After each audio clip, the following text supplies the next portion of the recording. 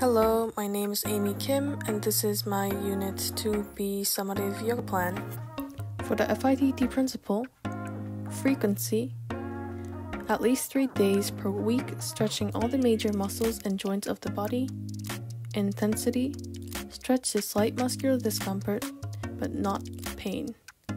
Time, each stretch should be held for at least 10 seconds or for multiple repetitions. Type, can static stretch to help your flexibility. For my smart fitness goal, in specific, I'll stretch my upper body. This will improve my health of my back and will no longer have cramps. For measurable, we are going to measure our flexibility using the flexibility test. Achievable, I have the resources to perform the yoga plan and also have the time in class to do the yoga poses. Results, I want to get more than 10 centimeters for the sit and reach, and timely. It's until February 9th. First, I will demonstrate the vinyasa, which I chose sun salutation for. The first pose is very easy, you just stand up straight, um, and no muscles are particularly used. The next movement is performed by putting both hands together and reaching up to the sky. Deltoids, biceps, and triceps are stretched. This movement is performed by reaching all the way down, holding your ankles. The gastrocnemius, soleus, and hamstrings are stretched. This is a movement where you reach down to your toes. Like the one before, the gastrocnemius, soleus, and hamstrings are stretched. This movement is performed by holding a plank pose but with your arms bent. The deltoids, trapezius, and latissimus dorsi are stretched. Put your legs on the ground and arms straight.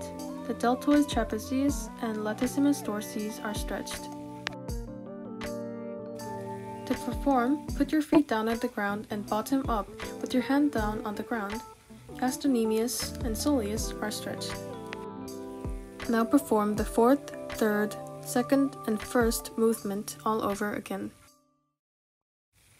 Now I will perform the yoga poses I chose. Put your toes and hands on the ground and lift your body up. The oblique and abdominal muscles are used to perform this movement. Put one side of the feet on the ground and one hand and pull yourself up. The oblique, bicep, and tricep are the muscles used. Straighten one leg and try to reach the leg with both hands. The hamstrings are stretched for this exercise.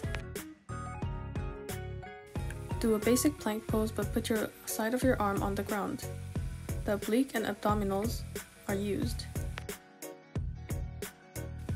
Put one leg behind you and grab that feet. The biceps, triceps, quadriceps, and hamstrings are used for this exercise. Widen your legs more than your shoulder length, then touch the ground with one arm. Reach the other arm to the sky. The hamstrings and quadriceps are worked in this foot movement. And now for the cool down. And place the thumb on the side of your nose and pinky and ring finger on the other side. Block the side of the nose with the pinky and middle finger on it and breathe in. Then block the other side of your nose with your thumb and breathe out. Repeat this. Sit in a comfortable position and breathe in with your nose, then breathe out with your mouth. Repeat this.